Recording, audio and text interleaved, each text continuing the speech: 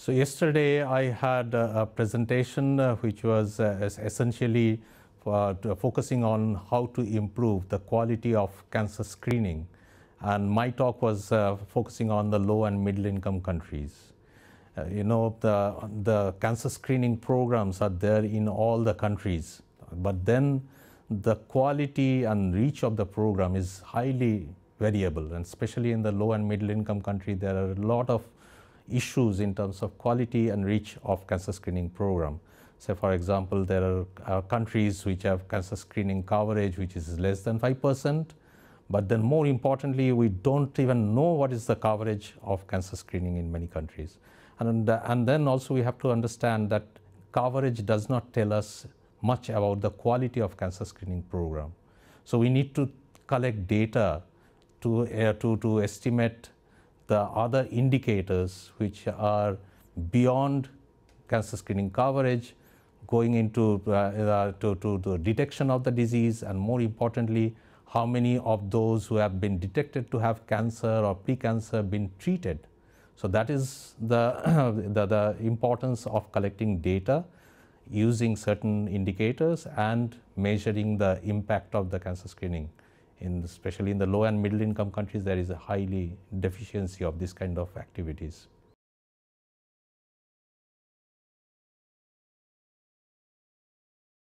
You know, cancer screening is a great public health program, but then if it is not uh, implemented with appropriate quality, there can be harms. Harms can be at the individual level, say for example, men and women may get a lot of false positive results and they may have psychological or, uh, or uh, physical harms because of that.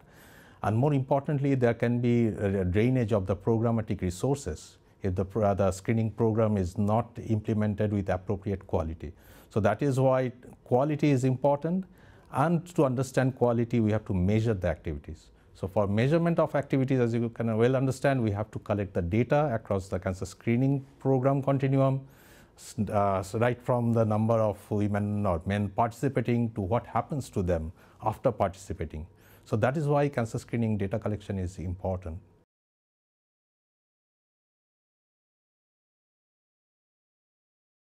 Uh, every country, when they launch a cancer screening program, they are supposed to build have a built-in quality assurance program which should collect data on a regular basis and then assess the, the performance of the program. Unfortunately, uh, in many countries, especially in the low and middle income countries, this culture is not there. Mostly it is on paper, but then the implementation is very poor. So that is why at IARC we have initiated a new project which we call Cancer Screening in Five Continents or cancer CanScreen 5 in short, this is, aims to collect data about, on cancer screening program performance from different countries across the globe. But then this project is not about passive data collection. We want to uh, improve the capacity of the countries to understand the importance of having quality assurance in the program, the importance of collecting data on a regular basis to measure performance of the program, and use that data to improve the quality of the programs. So that, that is why CanScreen 5 invests quite a lot in training of the cancer screening program managers and then work with them to collect the information and data from the different cancer screening programs. Uh, we, are, uh, we, are, going to pu publish uh, the results uh, of uh, data that have been collected from 85 different countries across the world. In spite of all the challenges, we managed to collect information and data and that uh, result will show how, what is the big deficiency, a big, big gap that is there in cancer screening program data collection from the low and middle income countries. Even in many of the high income countries, the programs do not collect data uh, across the continuum of cancer care.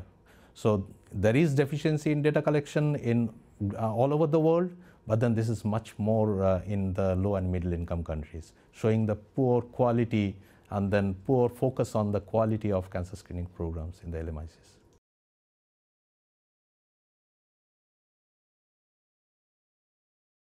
So CanScreen 5 project, it's a, it's a global project and it's not time bound as you can understand. It is going to be a continued project. We will, depending on the resources, we'll continue to uh, do training of the program managers But then for its long-term sustenance, what we are doing is we are uh, training the master trainers in the different countries. So for example, uh, a couple of months back, we trained master trainers from 17 African countries. These are uh, cancer screening program managers, but then they will also act as uh, program uh, master trainers to train more program managers. So that way, this will have a ripple effect, and then will uh, gradually train more and more people to understand the value of quality in cancer screening.